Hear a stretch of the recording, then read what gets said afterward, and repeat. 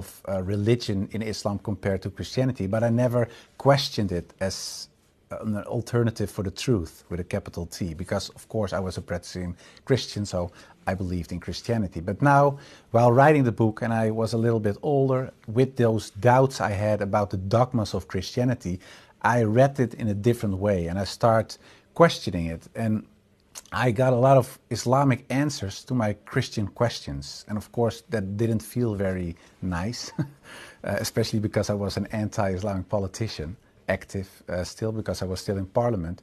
But uh, I wanted to make sure that the book was correct because I thought, well, when I publish this anti-Islam book, it has to be correct. It, it, it, uh, well, a lot of people will attack me, of course, if there is a little fault. So I thought it was, it has to be correct. So what I did was writing to several authorities on Christianity, uh, Judaism, because uh, part one of the Bible is the, the Jewish Bible, and also uh, Islam, because I was writing this book in a comparison uh, between Christianity and Islam.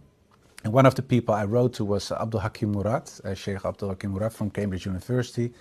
And um, well, he, he started explaining me some things about the core of Islam, and he, he advised me to read certain articles, certain books. Uh, wrote to several people, so that's what I did. And during this search for more information, my, my whole attitude towards Islam changed bit by bit. So, where I started writing my anti Islam book with all these ideas that Islam was anti uh, Christianity, anti uh, women, anti uh, whatever, it was very negative. But gaining more information, it, it started changing the way I, uh, I looked at Islam. So, uh, where I started writing my anti-Islam book, at a certain moment it, it changed into a search for truth, a search for information, and of course it ended. I ended up becoming a Muslim.